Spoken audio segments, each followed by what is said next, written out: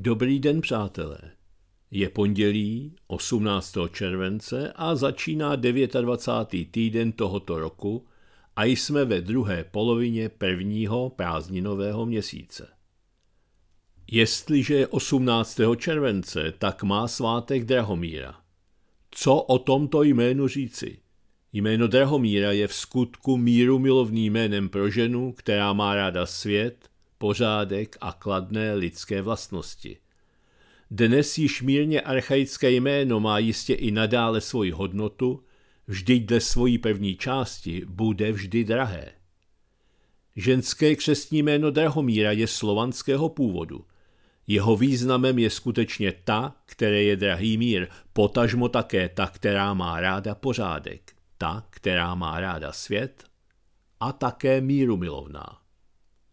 Ženské křesní jméno Drahomíra má také mužský protějšek ve jménu Drahomír. Původní staroslovanský tvar jména je Dragomíra a Dragomir.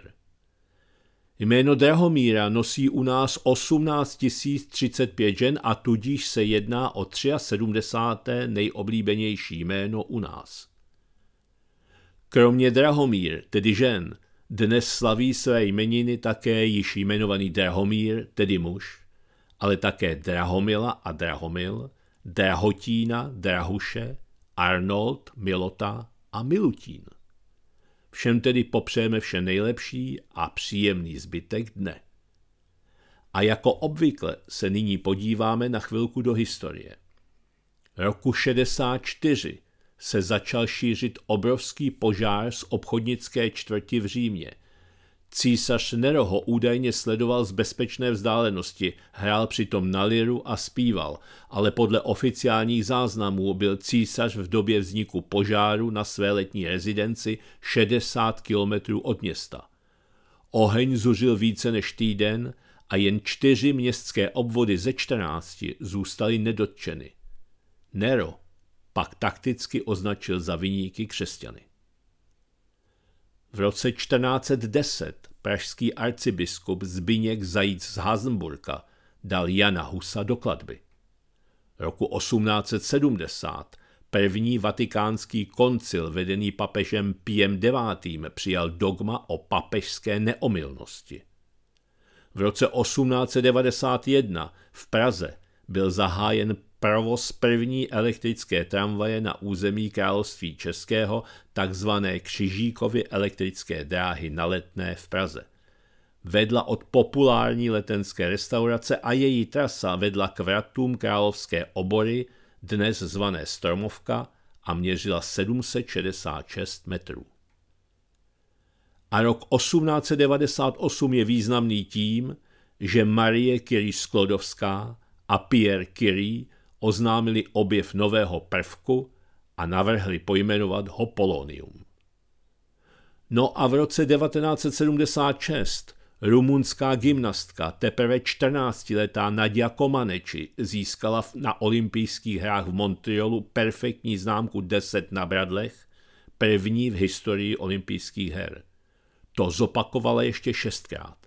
Vyhrála čtyři zlaté a stala se královnou her v Montrealu. Úvod skončil, monitor vyplouvá. A začneme článkem z Pokecu, který vyšel zhruba před týdnem, tudíž není úplně nejnovější, ale za zaznamenání stojí. Odtajněné archivy. CIA připravovala válku na Donbasu už v roce 1957. Tak zní titulek. CIA připravovala válku na Donbasu už v roce 1957 v rámci protisovětského povstání. To píše vojenský pozorovatel Alexander Artamonov. V 60. letech CIA plánovala speciální operace na Ukrajině podle amerických analytiků – by protisovětské povstání bylo podporováno v mnoha regionech Ukrajinské sovětské socialistické republiky a rozdělení pro a proti Moskvě by procházelo přibližně stejnou hranicí, která nyní odděluje Doněckou a Luhanskou lidovou republiku a Krym od zbytku Ukrajiny. Takové závěry lze vyvodit ze studie Faktory odporu a zóny působení speciálních sil Ukrajina z roku 1957. Tuto studii CIA nedávno odtajnila a podrobně ji cituje BBC. Ukrajina je v této studii rozdělena do 12 zón podle míry loyalty k americkým intervencionistům. Úkolem intervencionistů je vyvolat povstání proti centrální vládě. Zcela očekávaně za nejslibnější byla vyhodnocena západní část země, konkrétně Voliňská oblast a Ludská oblast, kam patří města jako Kovel, Luck, Kostopol a Vladimirec. Ale Krym a Donbas už tehdy byly charakterizovány jako neperspektivní, protože místní obyvatelstvo podporuje centrální vládu a ve skutečnosti se považuje za Rusy, nikoli za Ukrajince. Tedy zóny 1 a 2. Právě konflikt zón 3 až 12 se zónami 1 až 2 byl v roce 1957 popsán jako nejpravděpodobnější a potenciálně proveditelný pro eskalaci uvnitř Sovětského svazu s cílem jeho kolapsu. Zároveň existují zóny i 3, 4, 5, což jsou Oděsa, Charkov a Záporoží, které podle CIA v roce 1957 by se v důsledku začátku konfliktu postavili na stranu Donbasu. Ve výsledku je zajímavé vyhodnotit mapu Ukrajiny, kterou v roce 1957 vytvořila CIA. Jak vidíme, plán USA byl realizován po 60 letech. A pro skeptiky je v článku odkaz na původní zprávu a zvláště pak na stranu 86. Mám před sebou Rustrat. Moskva a Teherán sloučí bankovní systémy. Po jednání v Moskvě mezi Ruskem a Iránem bylo podepsáno memorandum o mezibankovní spolupráci. Šéf iránské centrální banky Ali Salechabadi uvedl, že po výsledcích jednání v Moskvě mezi Ruskem a Iránem bylo podepsáno memorandum o mezibankovní spolupráci – podle něj se v současnosti na území obou států vyjasňují problémy s používáním bankovních karet vydávaných finančními institucemi Iránu a Ruska a v budoucnu Teherán a Moskva budou moci propojit své banky prostřednictvím mezibankovního systému pro předávání informací a provádění plateb vhodných pro země po vzoru ve světě hojně využívaného systému SWIFT. Připomeňme, že dříve o této otázce diskutoval během návštěvy Teheránu ruský vicepremiér Aleksandr Novak. Poté bylo konstatováno, že v podmínkách sankčního tlaku, kterému jsou obě země ze západu vystaveny, sjednocení jejich platebních systémů umožňuje provádět potřebné finance za vnějškově omezených podmínek. Navíc hovoříme o vzájemném vypořádání v národních měnách. Ale nyní se tyto otázky řeší nejen na úrovni bilaterálních vztahů, faktem je, že Irán požádal o členství v BRICS, kde jsou Brazílie, Rusko, Indie, Čína a Jižní Afrika. A všichni budou muset při budování finančních a ekonomických vztahů pracovat podle společných obecně uznávaných pravidel – BRICS nyní vytváří vlastní finanční infrastrukturu a v roce 2014 založila novou rozvojovou banku. Ta je mimochodem určena k financování různých dlouhodobých projektů nejen v členských zemích BRICS, ale i v dalších oblastech rozvojových zemí. Není náhodou, že se také zintenzivnily práce na vytvoření jednotné rezervní měny BRICS aby se v budoucnu předešlo finančním rizikům spojeným s jinými měnami. Sjednocení bankovních systémů Ruska a Iránu je tedy pouze začátkem dlouhé cesty k vytvoření nové světové ekonomiky. Teď tu mám zprávu z ruského komersantu. Německo přestane nakupovat ruské uhlí 1. srpna a ruskou ropu 31. prosince. Na konferenci v Sydney to oznámil náměstek německého ministra financí Jörg Kukis. Rusko podle něj dodává Německu 40% uhlí a 40% ropy. Každý, kdo zná historii ropovodu Družba, který byl již nástrojem sovětského impéria ve východní Evropě, ví, že zbavit se této závislosti není triviální záležitost, toho dosáhneme za pár měsíců, řekl šéf německého ministerstva financí, citováno agenturou Reuters. Dodal, že nyní Německo hledá alternativu k ruským dodávkám, mohly by to být Spojené státy a Katar. Německo podle něj staví terminály na skapalněný zemní plyn LNG. Navzdory tomu stále existuje velká mezera v dodávkách energie. Zákaz dovozu uhlí z Ruska byl zahrnut do pátého balíčku sankcí EU, částečné embargo na ropu z Ruska bylo zahrnuto do šestého balíčku. Podle agentury Bloomberg vzrostly od začátku roku ruské příjmy z ropy o 50% V tomto ohledu lídři zemí G7 zvažují zavedení marginálních cen ruské ropy.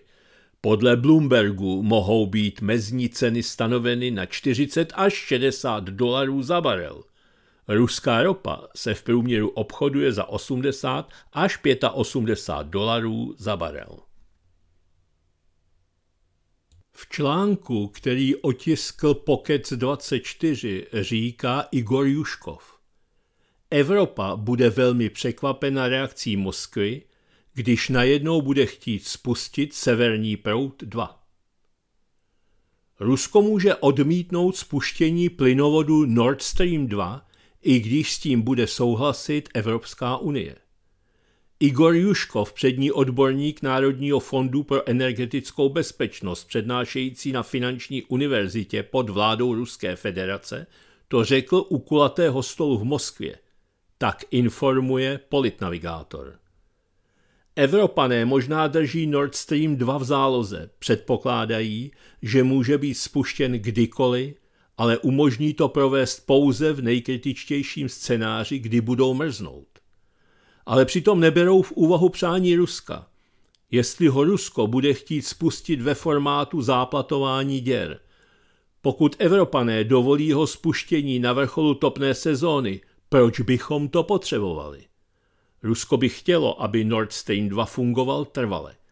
K tomu je nutné podepsat příslušné dohody o tom, že určité objemy plynu by měly být čerpány před Nord Stream 2 Jestli jsou Evropané připraveni je podepsat, není jasné. Pro Rusko není výhodné spouštět plynovod na měsíc, vysvětlil Juškov. Spuštění plynovodu bude podle jeho názoru bránit dlouhodobá demonizace projektu ze strany evropských politiků. Byli i takoví politici, kteří tvrdili, že to vůbec není žádný plynovod, ale potrubí, po kterém by se mohli plazit vojáci, aby dobili Evropu. Analytické instituce tvrdili, že pod záminkou opravy potrubí přistane útočná jednotka a obsadí nějaký ostrov. Když už léta tvrdíte, že jde o nějaký démonický symbol Ruska, pak bude pro politiky nesmírně obtížné vysvětlovat občanům Evropské unie, proč jste dovolili jeho spuštění. I proto je malá šance, řekl Juškov. Expert zároveň poznamenal, že EU zatím na rozdíl od Spojených států neuvalila na Nord Stream 2 žádné sankce. Projekt byl blokován byrokratickými prostředky, což je pozitivní signál. Natural News.com přinesl článek Ramona Tomeje Farmáři v celé Evropě povstali proti tyranským nařízením vlád – které likvidují dodávky potravin. Jeho slovenský překlad uveřejnil CZ24 News. Záběry zemědělců z celé Evropy, jak vyšli do ulic proti politikám ohrožujícím světové zásobování potravinami, se staly na sociálních sítích virálními. Radikální vládní politiky protlačované Evropskou unii se totiž snaží do roku 2030 snížit emise dusíku a uhlíku o více než polovinu.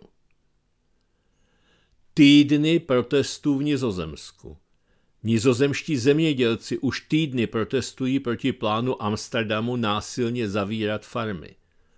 Opatření nizozemské vlády v oblasti změny klimatu se snaží snížit emise v některých provinciích až o 95% To ovšem znamená, že způsob života asi 30% zemědělců by mohl zcela skončit.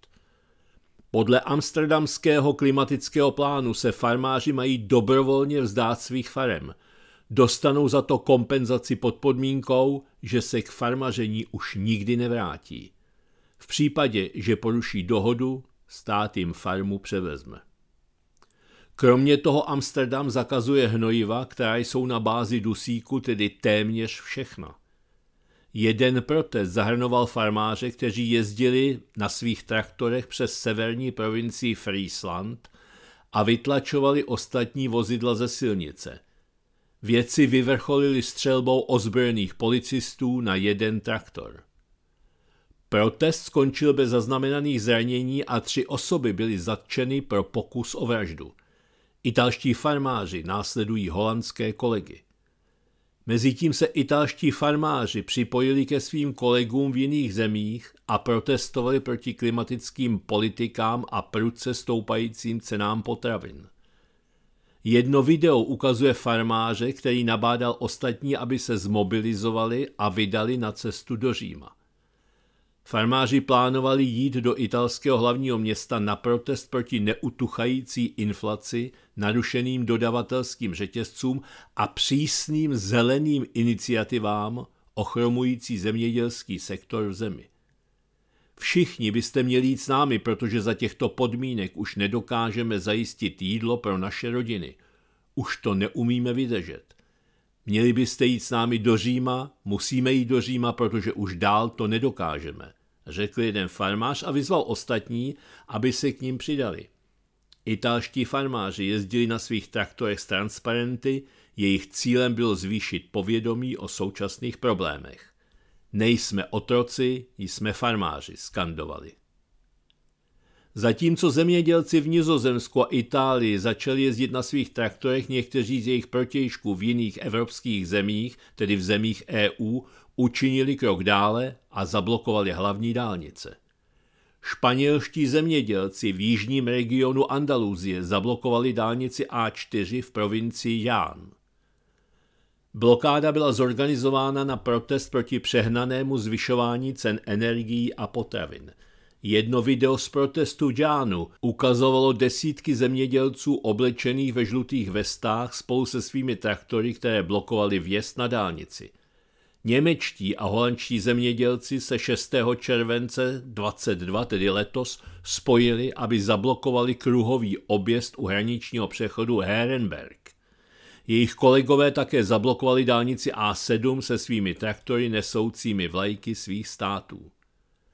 Farmáři, kteří se poučili od kanadských Freedom Tuckers, tedy kamionisti za svobodu, v současnosti blokují nizozemsko-německou hranici traktory na protest proti politice Světového ekonomického fóra, tedy VEF, v oblasti klimatických změn, kterou protlačují jednotlivé vlády EU.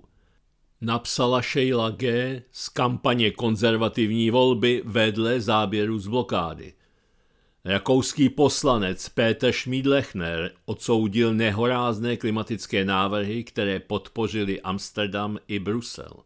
Kvůli takzvané zelené dohodě udělala nizozemská vláda něco pobuřujícího a lze se obávat, že to samé se stane v Rakousku, řekl zákonodárce a člen strany Svobody Rakouska. Schmiedlechner pokračoval. EU zároveň podepisuje obchodní dohodu s Novým Zélandem, čímž vytváří nové závislosti. Jaký to má vlastně smysl? Závěr. Navštivte stránku Resist News, kde najdete další příběhy o protestech proti šíleným klimatickým agendám a inflaci potravin – a také si můžete prohlédnout videa o protestech farmářů v různých evropských zemích. Nedá mi to a uvedu zde rozhovor z parlamentních listů s bezpečnostním odborníkem Jaroslavem Števcem. Titulek zní Tanky, vrtulníky, zbraně, munice, granáty. Vše na Ukrajinu. Vojenský analytik nahlíží do armádních skladů. Hrozivá zpráva. Česká republika se prakticky odzbrojila a poslala do boje své schopné tanky. Nejefektivnější bojové vrtulníky, tisíce pistolí, samopalů a obrovské zásoby munice i granátů. Česká armáda je v současné době armádou bez zbraní. Varuje vojenský a bezpečnostní odborník Jaroslav Štefec. Odzbrojování ve prospěch cizí armády mu dohromady neladí s prohlášením českého premiéra, že se země nachází ve válce. Na obnovu prý už nebudou peníze. Válka na Ukrajině trvá už téměř pět měsíců. Rusko momentálně ovládá většinu Luhanské oblasti, v Doněcké oblasti je to pak zhruba polovina, jak uvádí agentura AP. Obě lokality tvoří tzv. Donbas, který je rovněž nazýván srdcem Ukrajiny. Spekuluje se proto, zda bude bitva o Donbas dalším rozhodujícím ve válečném konfliktu – Štefec si to nemyslí. Nemyslím si, že by to byla rozhodující bitva o Ukrajinu, protože Rusko nebojuje o Ukrajinu, ale o to, aby byly splněny požadavky, které se formulovaly před zahájením bojů. Jasné požadavky, které Rusko dalo z hlediska neutrality Ukrajiny, nerozmístování bojových systémů strategického významu na nových územích Severoatlantické aliance a podobně – Rusko bojuje o splnění těchto požadavků, cokoliv jiného je pro ně nepřijatelné a z požadavků neustoupí, domnívá se vojenský expert. Zároveň se s ubíhajícím časem snižuje šance na výhodnější dohodu pro Ukrajinu. Ukrajina samozřejmě měla šanci se dohodnout na začátku. V současné době je dohoda s Ukrajinou vyloučena, protože jediná věc, která by mohla válku ukončit a nastavit pravidla – je dohoda mezi Ruskem a Spojenými státy americkými. Jiná varianta není, tedy bude se to týkat Severoatlantické aliance, ale ta je ekvivalentem Spojených států. NATO bude konat tak, jak budou Spojené státy říkat, sdělil Jaroslav Štefec. Rusové se učí bojovat proti západní technice a analyzují ji. Ruský prezident Vladimír Putin se nedávno nechal slyšet, že Západ prohrál hned v počátku jejich speciální operace. Co tím měl na mysli? Západ prohrál především tím, že naučil Rusy bojovat jejich taktikou se západní technikou. Rusové tyto zkušenosti neměli a velmi intenzivně je nyní získávají a analyzují. Jeden z kroků bude i boj proti americkým raketometům HIMARS a jejím vypouštěcím zařízením. Rusové brzy přijdou na to, jak je zlikvidovat, předeslal. Raketomety M142 HIMARS přitom podle Števce neznamenají pro Rusko ten největší problém, přestože ukrajinská strana hlásí, jak jsou přesné a úspěšné. Jsou jeden z problémů, ale rozhodně nejsou největší problém – i když s nimi Ukrajinci mohou zasáhnout území Ruska, pokud jim Spojené státy dodají raketomety vysokého rozsahu, ale vystavili by se tím velmi drsné odvetě. Daleko větší problém pro Rusko je v současné době radikální změna ukrajinské protizdušné obrany, která radikálně změnila taktiku na základě pokynů amerických instruktorů – jsou zapojení do systému řízení protizdušné obrany Severoatlantické aliance právě prostřednictvím amerických satelitů a předáváním informací o všech startech letadel a bezpilotních prostředků Ruské federace, které získávají prostřednictvím amerických výzvědných systémů, vysvětlil expert. A jak velký problém činí Rusům protitankové rakety zvané Javelin, kterých Amerika poslala Ukrajinců už na 7 tisíc kusů a které spotřebovali během pár měsíců? Jak upozornil server Echo24CZ, američané přitom sami vyrábí jen 2100 kusů za rok. Nejedná se však pouze o zbraně Javelin, ale týká se to i dalších zbraní a vybavení z jiných států. Hovoří se proto o tom, jak dlouho bude vyzbrojování Ukrajiny západem pokračovat a že Spojeným státům, Německu či Francii postupně docházejí zásoby. I pro samotné Američany je nasazení javelinů na Ukrajině zklamáním, protože v bojovém prostředí se ukázali jako poměrně málo účinné, i když o nich mluvili jako o louskáčku na ruské tanky.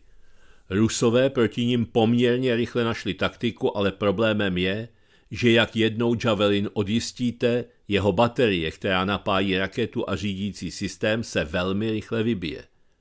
A když nemáte náhradní, je systém brzy nebojeschopný a nefunkční, popsal Jaroslav Štefec s tím, že i proto bylo procento efektivity Javelinu na Ukrajině velmi malé. Účinnost odhadl na 40 až 50% a ani v případě zásahu prý vždy nedojde ke zničení tanku. Zásoby zbraní se prý tenčí nejen Spojeným státům americkým, ale i České republice a to činností politiků. Česká republika se pilnou činností ministerstva obrany prakticky odzbrojila a poslala do boje své schopné tanky, nejefektivnější bojové vrtulníky, tisíce pistolí a samopalů a obrovské zásoby munice i granátů. Česká armáda je v současné době, a už předtím nebyla vybavená, armáda bez zbraní. Premiér tvrdí, tedy náš premiér, to jest Petr Fiala, že jsme ve válce, ale současně nás systematicky odzbrojuje a nevidím z toho žádný výstup. My nebudeme mít ani peníze, abychom darovanou techniku nahradili. My se naprosto cílevědomně a promyšleně zbavujeme vlastní armády ve prospěch armády cizí ve válce, která není naše varoval Jaroslav Štefec. Budou právě tenčící se zásoby zbraní západu podnětem pro stoupající tlak na Ukrajinu, aby ustoupila ze svých požadavků? To je otázka, je zde obrovský problém, o kterém se nemluví, protože pořád existuje naděje ze strany Spojených států amerických, že v Evropě dojde k jaderné válce. To by jim vyhovovalo ale na druhou stranu chápou, že je to rizikové i pro Spojené státy a nikdo neví, jak se dopady rozvinou. Přesto existuje křídlo, které by rádo vidělo v Evropě válku, protože doufají, že na Evropě ekonomicky zahojí obrovský ekonomický průšvih jak Spojených států, tak v celé Evropské unii. Na dotaz redakce, zda si v Americe skutečně někdo přeje jadernou válku v Evropě reagoval – je tam skutečně spousta jestřábů, kteří by rádi viděli Evropu zničenou jako po druhé světové válce, do kterého by mohli investovat prostředky. A co přináší největší úroveň zničení? Jaderné zbraně, poznamenal. Rusko zřejmě dobude pruh kolem Azovského a Černého moře. Změnu vnímá i v retorice.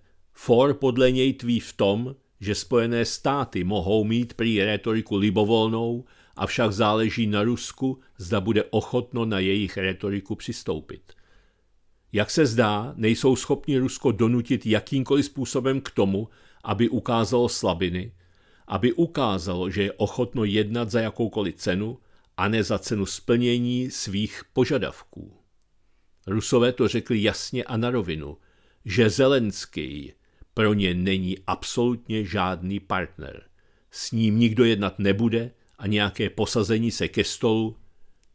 Dobře, nyní seděli u stolu turecká, ukrajinská a ruská delegace a oni se bavili o uvolnění vývozu ukrajinských potravin, sdělil Štefec. Jednoznačně tam od Ruska padlo, že vývoz umožní, ale chtějí jasné záruky, že vagony nebo lodě, které pojedou zpátky, nepovezou žádné zbraně. Tyto věci ukazují, že Rusové nejsou blbci a nenechají si věšet bulíky na nos. Putin se také nechal slyšet, že Západ se může pokusit Rusko porazit a že Rusové ještě ani nezačali. Z jejich pohledu nevedou válku a oni stále vedou to, čemu sami říkají speciální operace a testují Ukrajinu a západní zbraně. A samozřejmě si ověřují techniku, taktiku, ověřují si způsob boje s nimi, takže Západ nyní odkryl karty, zatímco Rusko ještě ani zdaleka ne, upozornil Štefec. Vývoj prý bude záležet i na jednání o Ukrajině. Jednání o Ukrajině dnes jako terminus technicus. Ano, dobře, chápu jednu věc. Polsko se jen třepe na západní část Ukrajiny. Rusko si zřejmě dobude celý pruh kolem Azovského a Černého moře a myslím, že celou levobřežní Ukrajinu, tedy to, co leží na levé straně Dněpru, respektive celou ruskojazyčnou zónu a spousta lidí z celé Ukrajiny odejde do této zóny, kde se mluví rusky. I tohle tedy bude muset být součástí dohod, stejně jako vznikla svého času dohoda o vzniku Pákistánu v Indii. Muslimové odešli do oblasti Pákistánu, kde žijí ještě jakž takž v míru. Dodal Jaroslav Štefec. Těsně po polovině tu máme glosu Luboše Záloma, tak jak ji uveřejnil CZ24 News. Fiala, Pekarová a Rakušan parazitují na ukrajinské válce, co je vlastně zrádné jednání, které už samo o sobě by mělo lidi vyhnat do ulic. Naši politici mluví o tom, že vedeme válku s Ruskem – Dobře, dejme tomu, že to tak skutečně je. V tom případě by ale měli mluvit také o tom, jak takovou válku vyhrát. Jaký je strategický cíl a jak jej dosáhnout. Na první pohled to vypadá, že si představují, že Rusko bude v jeden okamžik tak oslabené, že z Ukrajiny odtáhne, nebo že sami Rusové svoji vládu svrhnou, protože už budou mít plné zuby, tato představa je mimochodem naivní dvousečná zbraň, protože to samé v bledě modrém se může stát i tady. Jak tak poslouchám Fialu, Pekarovou nebo Rakušana, začínám být stále více přesvědčen, že oni v kategoriích jako strategie nebo vítězství vůbec neuvažují. Válka na Ukrajině, kterou lze politicky vztáhnout i na nás, je pro ně daleko cenější, ustrneli na mrtvém bodě a bude se co nejdéle protahovat. Válka totiž Fialovi, Pekarové nebo Rakušanovi poskytuje pohodlné jeviště pro domácí politiku. Všechno lze svádět na válku, na Putina, na Rusko. A veškeré zdejší problémy lze bagatelizovat slovy. Vy si stěžujete, že jsme vám vypnuli teplou vodu? Jak jste malicherní, na Ukrajině umírají lidé. Navíc lze kdykoliv vyhlásit nouzový stav a v kontextu války postihovat politické odpůrce a rozprášit jakýkoliv dizent. Ostatně Rakušan již proto zřídil speciální policejní útvar, své vlastní gestapo a připravuje se protidezinformační legislativa. Je to skutečně tak. Fiala, Pekarová a Rakušan parazitují na ukrajinské válce a zneužívají k posílení své vlastní politické moci na úkor občanů této republiky. To je ovšem vlasti zrádné jednání, které už samo o sobě by mělo lidi vyhnat do ulic. Teď si dáme i nadhled live a Jindřicha Kulhavého. Jeho úvaha je uvedena jakýmsi plagátkem zvoucím na koncert proti Putinovu ruskému plynu. Na sobotu 12. listopadu letošního roku v 11 hodin. Koncert Tvůj plyn nepotřebujeme, Putine. A prý tam vystoupí Tomáš Klus, David Koller, Eva Holubová, Zdeněk Svěrák, Marek Eben, ale ten je škrtnut, Davidské divadlo a Ivan Trojan. Všimněte si, pořád stejná jména, pořád stejné ksichty, pořád stejní, dnes už neváhám říci dobře placení hlupáci. Kdysi dávno by byli pojmenováni škůdci zemskými. Tak tady je avizovaná úvaha s titulkem Máte chuť jim ještě někdy tleskat? Dvě třetiny Evropy se obávají blížící se zimy, lidé odpovědní za chod hospodářství a průmyslu si konečně uvědomují, jakým průšvihem se stanou důsledky ideologického pomatení politiků a jejich manipulování spojenými státy. Tady už nejde jen o zimu v našich obydlích, ale o totální kolaps společnosti. Likvidaci průmyslu a jeho znehodnocení, na což se těší především američtí investoři připravení skoupit vše, co se dá. A samozřejmě co nejlevněji. Ostatně už si o tom ve státech štěbetají vrabci na střeše. No vrabci, oni jsou to spíš nenasytní supy. Jestliže plno lidem ještě nedochází dramatičnost situace a řada z nich si myslí, že se to nějak vyřeší, o čemž je přesvědčuje i premiér Petr Fiala, pak skeptici doplňují dřevníky, nakupují uhlí a hledají způsoby, jak vytopit svá obydlí.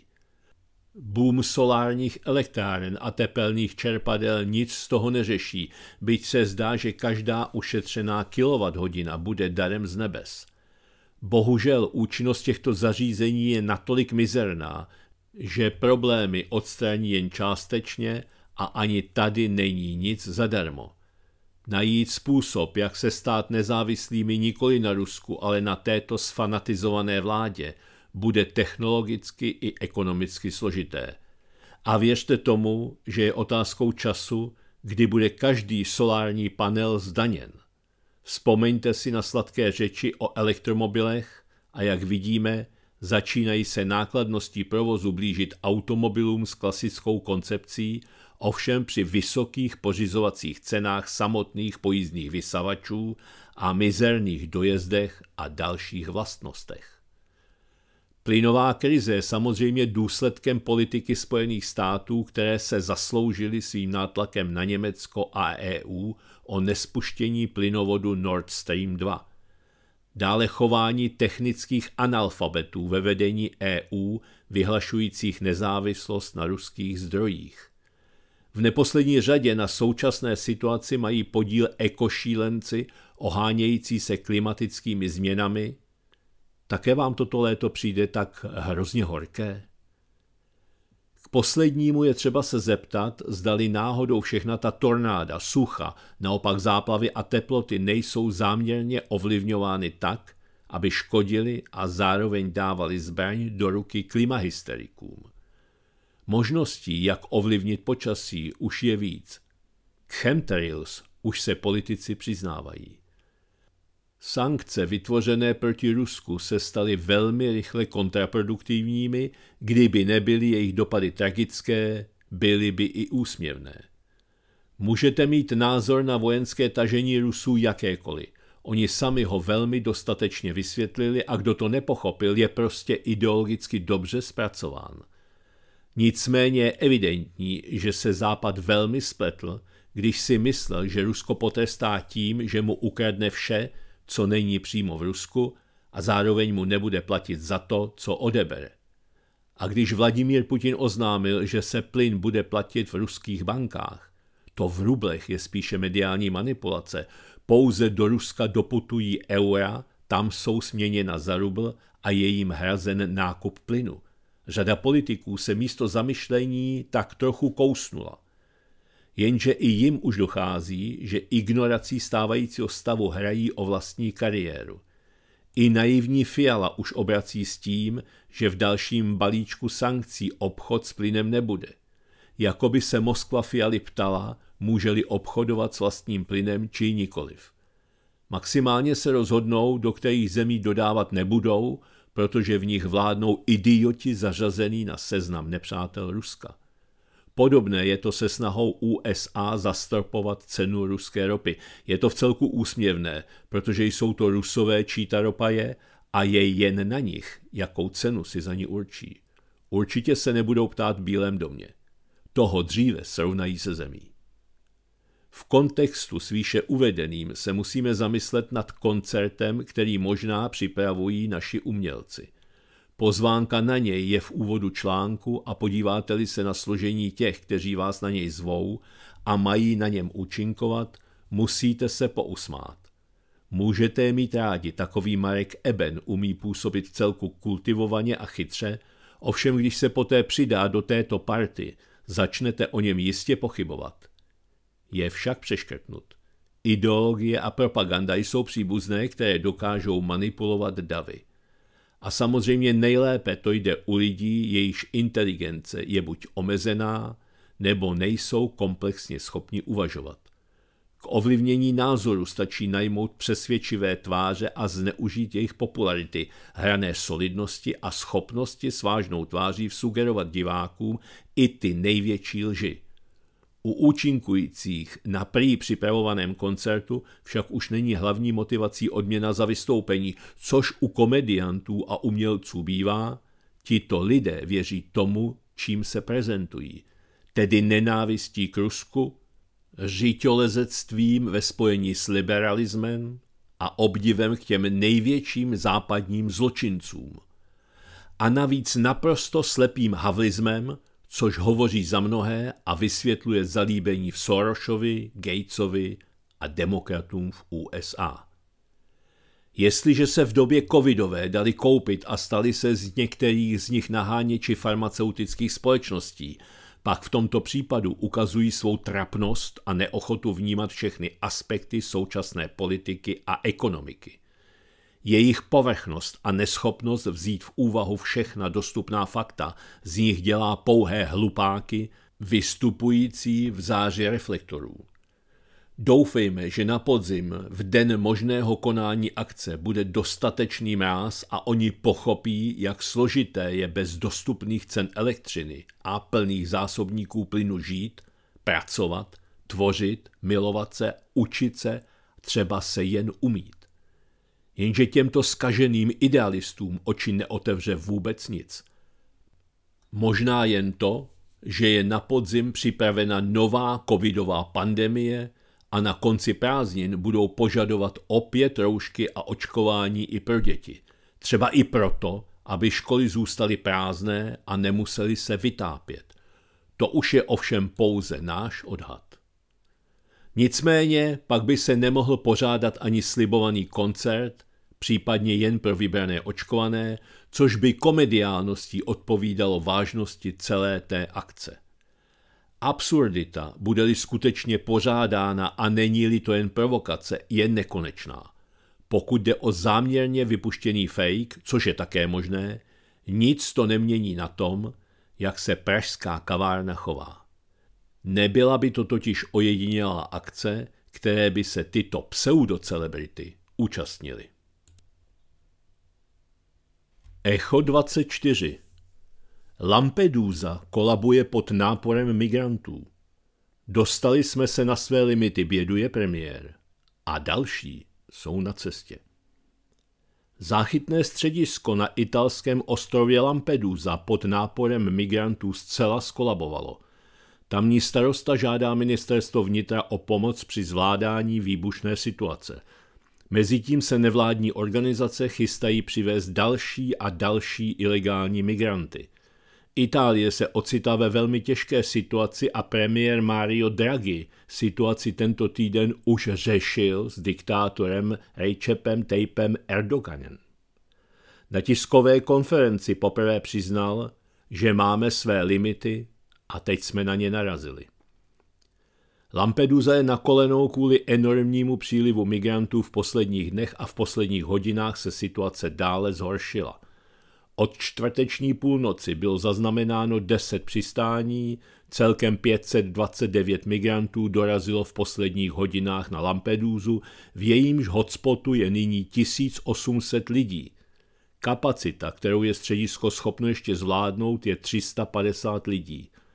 Ubikace jsou zavaleny odpadky, chodby jsou neprůchodné, migranti se válejí všude po okolí.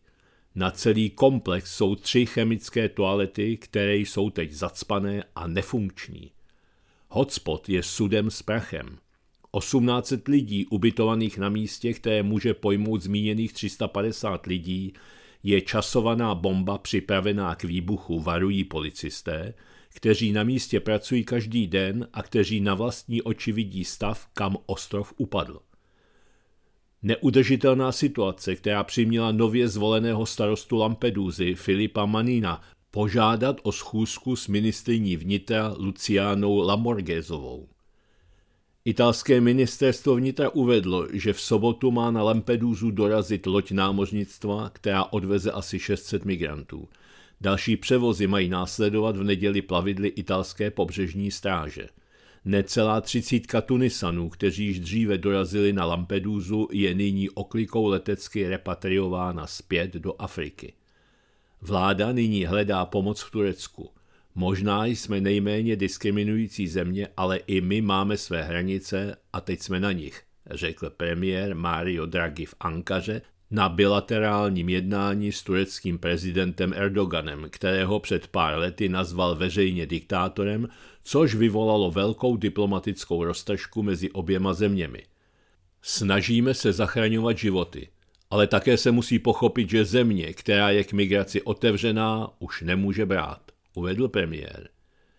Itálie se ocitla ve velmi těžké situaci, jelikož v Libii je opět na spadnutí občanská válka, což ještě více zvýší tlak a pašeráci spolu s nevládními organizacemi budou mít další zájemce o ilegální plavby do Evropy. Itálie se domnívá, že Turecko, které má své vojáky v západní Libii, má pod kontrolou libijskou pobřežní stráž a má velký vliv v této části země, aby mohlo ilegální migraci přibrzdit. A dále pokračujeme na stejné téma. Echo 24 Maďarská jižní hranice je v obležení migrantů. Jsou vyzbrojeni automatickými zbraněmi. Napětí na tzv. balkánské trase se stupňuje. Podle maďarského ministra zahraničí Pétera Ziarto je jižní hranice Maďarska prakticky v obležení kvůli nelegální migraci. Agresivita a útoky migrantů prudce rostou. V sousední Vojvodině došlo u maďarských hranic počátkem července k přestřelce mezi Pákistánci a Afgánci. Zůstal jeden mrtvý a několik zraněných. Srbská policie u nich zabavila automatické pušky a řadu dalších zbraní. Maďarsko v těchto dnech zahájilo nábor do nového zvláštního pluku pohraničních myslivců. To za situace, kdy nová levicová vláda ve Slovinsku začala bourat plot na hranicích s Chorvatskem, který chránil v pronikání nelegálních migrantů. Vyhrocená situace na hranicích byla mimo jiné tématem čtvrteční cesty ministra Ziarto do Vídně na jednání se svým protějškem Alexandrem Schallenbergerem – Siarto řekl, že maďarské úřady letos zatím zadrželi na jižní hranici přes 120 tisíc nelegálních migrantů, což je dva a půlkrát více než loni. Migranti se navíc chovají agresivně a násilně, ozbrojili se a nebojí se používat zbraně, uvedl. Minister kritizoval promigrační politiku EU a plány na zavedení povinných přesídlovacích kvót. Obvinil také EU z proplácení jen málo zlomku výdajů na snahy vlády v Budapešti o zastavení migrace. Vzhledem k tomu, že Maďarsko považuje nelegální migraci za hrozbu pro svou bezpečnost, policie na to nestačí, zřizuje nový ochranný útvar, takzvané pohraniční myslivce. Nepůjde ani o armádu, ani o policii, i když pohraniční myslivci budou mít některé policejní pravomoci – Pluk bude mít 4 tisíce příslušníků, dislokován bude na jižní maďarské hranici. Nábor právě začal. Policejní velitel generálmajor Čaba Tarča zdůraznil, že migranti jsou stále násilnější nejen, že se snaží dostat přes plot pomocí žebříků a hloubí tunely, ale také střílí pomocí praků skleněné koule do policejních vozidel – při zadržování vozidel pašeráci lidí nezastavují, naopak zvyšují rychlost a snaží se ujet, což často vede k nehodě. Jak uvádí v sobotu ČTK s odkazem na rakouskou agenturu APA, maďarská vláda nyní rozhodla zesílit plot osnatého drátu na hranici se Srbskem a nyní čtyřmetrový plot zvýšit o další metr. Napjatá situace trvá už několik týdnů v srbské Vojvodině na maďarských hranicích, zvláště pak v Subotici.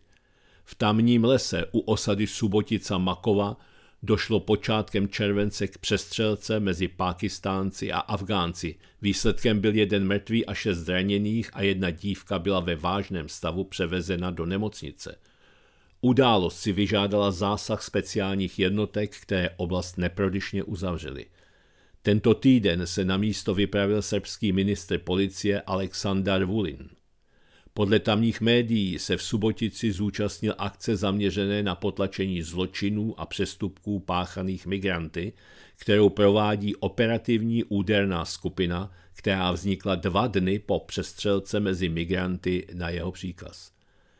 Při razii mezi migranty byly v okolí Subotice zabaveny tři automatické pušky, puška, čtyři pistole, 12 nožů, mačety, šavle a boxery a také 182 kusů střeliva různých ráží.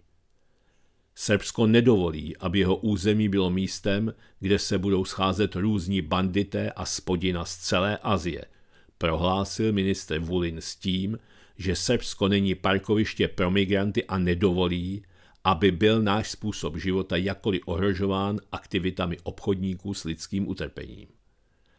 Za této situace v sousedním Slovinsku začala v pátek armáda rozebírat plot s osnatým drátem, který měl od dob migrační krize z let 2015 a 16 bránit ilegálním přechodům hranice s Chorvatskem. Nová vláda liberálně zeleného premiéra Roberta Goloba se k tomuto kroku zavázala v programovém prohlášení. Ministerstvo vnitra páteční začátek odstraňování plotu u hraničního přechodu Metlika označilo za symbol nové migrační politiky Slovinska. Šéfka rezortu Tatiana Bobnarová podle agentury APA řekla, že situace se od dob migrační krize, kdy hranici přecházelo i 12 000 běženců denně, zcela změnila. Plot je podle ní dnes neadekvátním opatřením.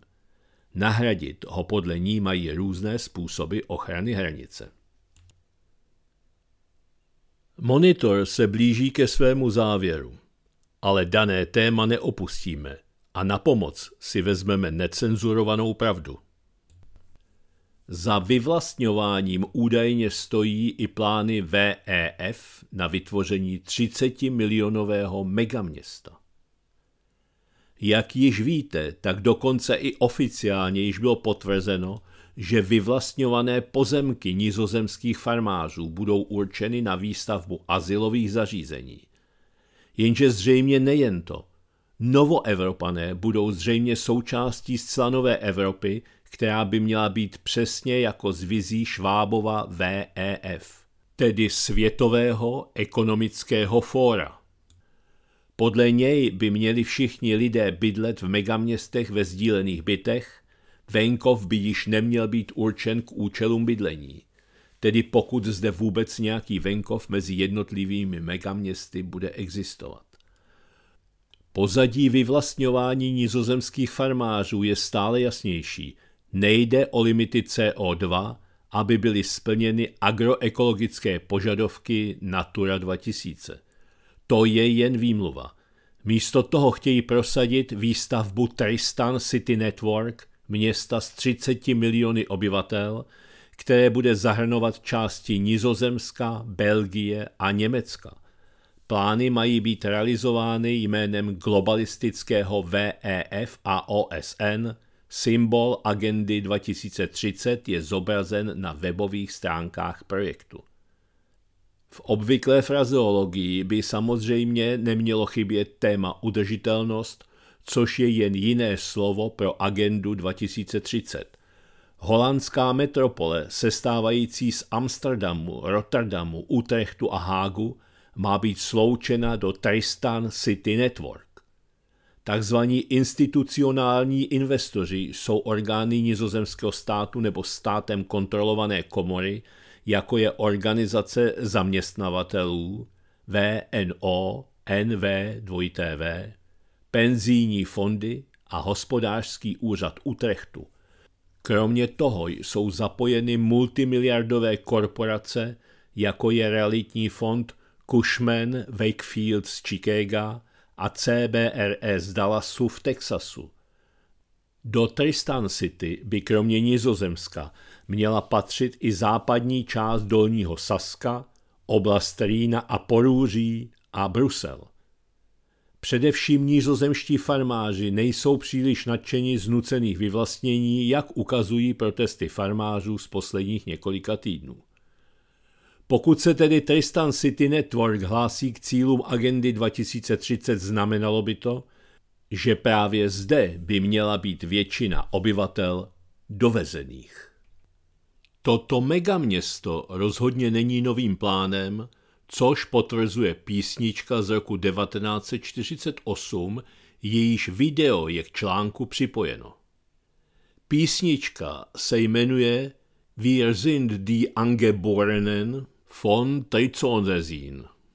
Tedy jsme domorodci z Triconezie a naspíval ji Karl Berbuer. Já vám ji nakonec dnešního monitoru zahraji.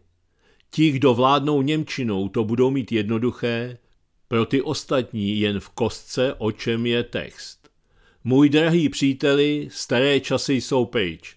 Ať se tam směješ, ať tam pláčeš, svět jde dál, raz, dva, tři. Malá parta diplomatů udělala dnes velikou politiku, vytvářejí zóny, mění stavy. A co my tady? Právě teď. A refrén jsme domorodci z Triconézie, hajdy čimela, čimela, čimela, čimela, bum. Máme dívky s ohnivou divokou povahou, hajdy čimela a tak dále. Nejsme kanibalové, ale o to lépe se líbáme, jsme domorodci z Trizonézie, hajdy čimela a tak dále. Ale cizí muži, abyste věděli, Trizonésian má smysl pro humor. Má kulturu, má také ducha. Goethe pochází z Triconézie, známá je Beethovenova kolébka. Ne v Číně nic takového není, proto jsme hrdí na svou zemi. A pak je refrén. Jsem děsně zvědavý a tak jsem se dal do pátrání po podrobnostech o této písni, kterou jsem neznal, a tak jsem se dozvěděl, že tato píseň byla málem hrána jako německá státní hymna na státní recepci a že tato píseň byla příležitostně používána jako náhrada za státní hymnu v letech 1948-49, když Spolková republika Německo neměla hymnu, která by byla přijatelná pro všechny strany. Údajně ji hráli i na nějakém cyklistickém závodě. V té době byl prý Adenauer přijat na státní návštěvě v Chicagu s hitem Hajdevička Herr Kapitän místo národní německé hymny. Hajdevička je z roku 1936 a zpíval ji také Karl Berbuer. A můžu vám říct, že je to také pěkná žachanda. Inu jsou to takové karnevalové písničky s chytlavou melodií. Už jen dodám, Song Triconézie je de facto o třech okupačních zónách po válce v Německu, o americké, britské a francouzské. Jenže ty zóny byly čtyři. Už tehdy se tak nějak začal upozadovat Sovětský svaz. Inu historie se stále opakuje. Zase, jako po několikáté, musím citovat George Santajánu. Ti, kdo si nepamatují minulost, jsou odsouzeni k tomu jí opakovat. To je pro dnešek z monitoru vše. Od jeho mikrofonu se ze studia Kalich Svobodného rádia s vámi pouze do zítřka loučí ovšem pokud dá Bůh a cenzor Ivan Votava. Naschledanou.